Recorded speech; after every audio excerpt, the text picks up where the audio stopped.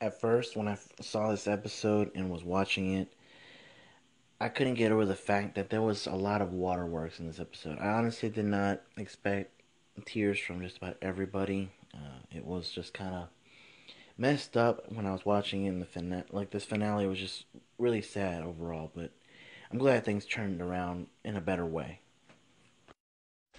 Warning! The following video may include rage, disappointment, sighs, and fan captions, which basically mean me getting excited over certain moments or characters of the episode we'll review.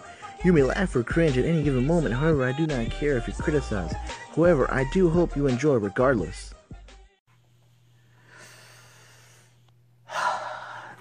this episode, man.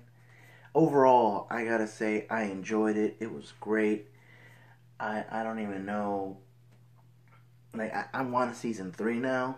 I don't even know if it's going to happen, but this episode was definitely, definitely worth it. Like it was. At first, you know, it was just a lot of, uh, I guess, Kato and Tomoya time, like it was just them going on their date. She explained that 20% of the reason was because she wanted to finish the date, 30% was to kind of cheer him up.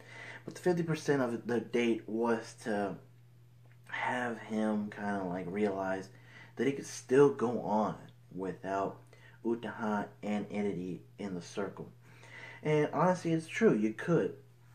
But for him, it was very difficult. And we saw that in the episode he was really trying to, I guess, have Kato kind of motivate him, trying to get him in better spirits.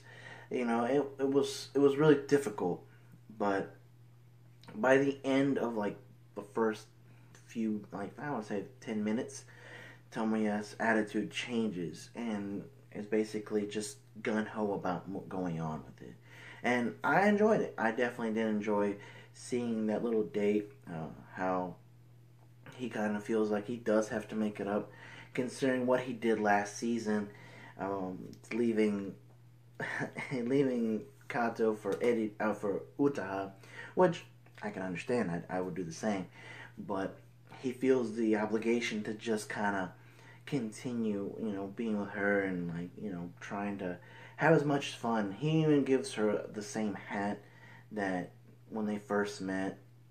And to her, it's special. It's like it's it's the same, but it's not identical. You know, it's like it's this one's different, and it almost seemed as though Kato's feelings were kind of like showing. I feel like she wanted to confess, but I, I felt like their time was well. It was well spent. You know, it was kind of cool to see that.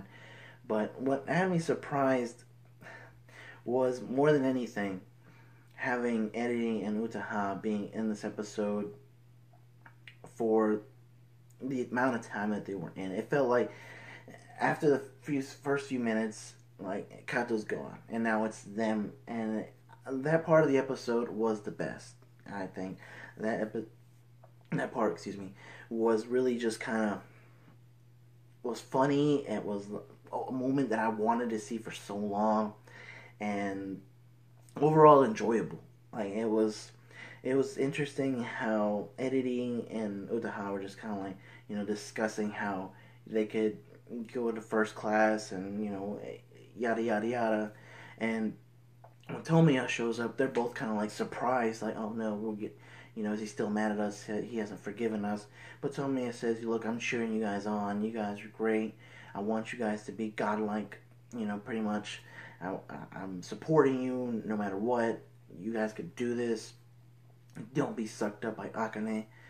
And in return, they're like, look, you know, we thought you were worried and upset and you don't want to forgive us, but it's like, nah. And I'm going to continue with my project, and they support him, and they're happy about it. But I think the funniest thing was when Eriri tries to like take his glasses and goes tries to go for a kiss.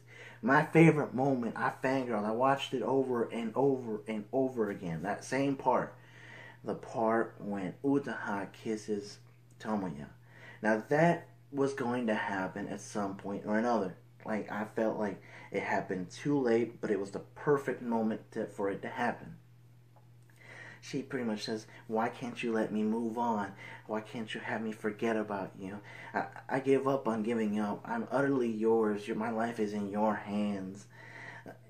And, I want to say though, like when Eriri was gonna go for the kiss, we saw Tomoya's foot go back, but when Utaha gets all close to him, his leg, and I don't know if you guys noticed, his leg actually goes around hers, like he's holding on to her. Like he's like, I didn't want this, but your body says otherwise. So it was just a great moment. I really enjoyed. I loved it. I I wish there was more of that. You know, she was gonna go for a second kiss. Eriri interrupts. Their train leaves. It was just funny. And then at the very end of the episode, we have Izumi showing up and Tomoya remembering Iori's words, saying, I already have a place for her to be where she can flourish her talents. And Izumi looks irrecognizable. Like I don't I didn't know that was her. She had a different hairstyle, she looks more mature, and it almost seems as though it was setting up for Izumi being part of Blessing Software. Also setting up for a season three, hopefully. I'm just hope you know, I'm just being very hopeful. And at the very end we have like Tomoya trying new glasses and Kato just laughing at him. And he tries to go with no glasses, which honestly is a better look for him. It really is. But we had Eriri and Utaha just watching, and then Michiru, who was gone for like ever, shows up saying, you know, he's gonna have a meeting, so I figured I'd be here. And even Utaha calls and it's like, you were missing for since like since the second half of the season. You were you're like, what are you doing here? You're, you're basically irrelevant now. And I have been wondering that for a long time. Like, Michiru, like, what happened? Like, where were you at? We needed you. You could have added some comedy, some good stuff, but she comes into the very end. Now that'll be interesting though. If a season three does happen, I'm hoping that all of these, all of them get back together. Uh, I would like maybe even Iori to be in the group. That would be very interesting. So I'm just hopeful for that to happen. Not holding my breath, but if it was to end the way it did, like this, no more seasons, I'd be okay with it. But I just kind of want to see what happens with everyone in the in the end. Like there is no, I guess, no chapters for the moment, but except for the side stories. But I'm really hoping for a season three. Overall, this this season was good. It was an episode short, pretty much, but I enjoyed it. I really did.